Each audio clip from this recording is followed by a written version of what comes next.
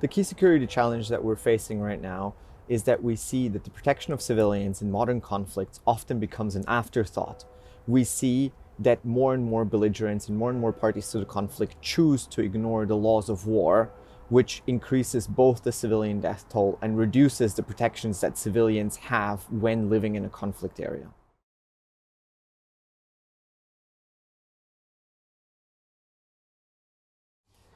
One thing that is very, very important is to make sure that we as the international community keep challenging all actors who continue to violate the laws of war. It is important that we don't only condemn these practices that kill civilians, but we also hold people accountable and ask them to explain why they continuously violate these laws of war. The other thing that is very important is that we put the focus, the spotlight of our discussions around peace, security, and the conflict back on the civilian population. It is very important that we give agency to the people who live through atrocious situations every day, whether that's in Ukraine, whether that's in Sudan, whether that's in countries like Mexico or Brazil. It is very important that these people get a voice of what they would like to see us do to improve their daily situation.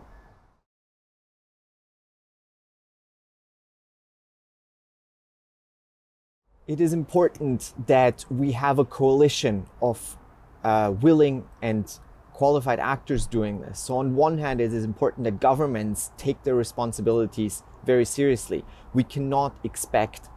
we cannot expect the international community or international bodies to do everything for them. So it is it is important that governments take these responsibilities seriously, make sure that there are systems in place to hold people accountable for when violations occur and also provide people with safeguards, right? I think when we talk about modern conflicts, the very basic things like access to evacuation routes, access to shelters, access to med- medicine, these are all very basic things that the state needs to be able to guarantee to its population, no matter in which situation.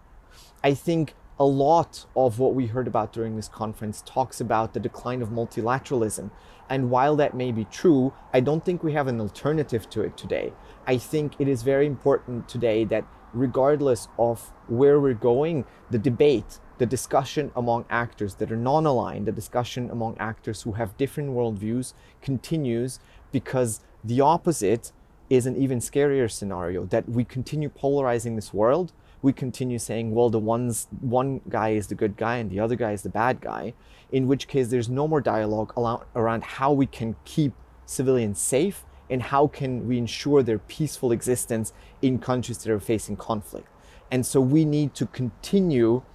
believing in our systems and building up our systems to fight this polarization that we continue seeing in the modern conflicts. One of the things that made me very hopeful in this conference is is to see how inclusive it was, how many people we had from the global south, how many people we had from South and Central America, how many people we had from the Middle East, how many people we had from Asia. I think when we talk about kind of an equal seat at the table to discuss how we should proceed in making this world a better place, this is the model we need to be looking at. And it is a stark difference or stands in stark contrast to other um, events like the Munich Security Conference, where a lot has been written about the fact that many parts of this world had been included from, uh, from this conversation about how we improve um, the situations for countries that are at war right now.